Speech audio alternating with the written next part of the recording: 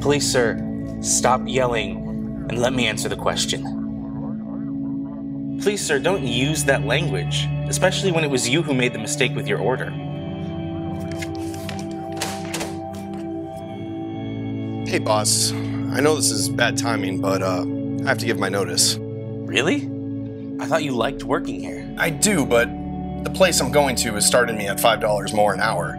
I, I can't compete with that. What do you mean you can't meet the deadline? This is the third time this month you're going to be late. I can't run a business when my supplier is so unreliable. Fine, if that's the best you can do. But I expect a discount.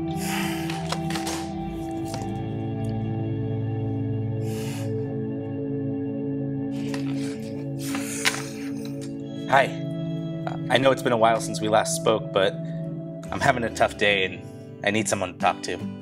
So after you called, I put a few things together. First, we're holding a Dealing with Difficult Customers workshop in a couple of weeks. I'll send you an invite.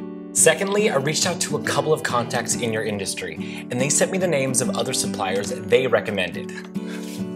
Next, here's a contact of the Chamber of Commerce. They're working on some initiatives to help cut down on vandalism of local businesses. Give them a call. Not much I can do to help you with employee retention, but I did pull some info from the government website on support programs. There may even be some money to help with income support. Wow. Thank you so much. Things are finally starting to look up. Well, I hope it helps. You know, we're always here for you. Other than that, how's everything else going? You know, the life of a small business owner. Good days and bad days. Even the strongest of us need help every now and then.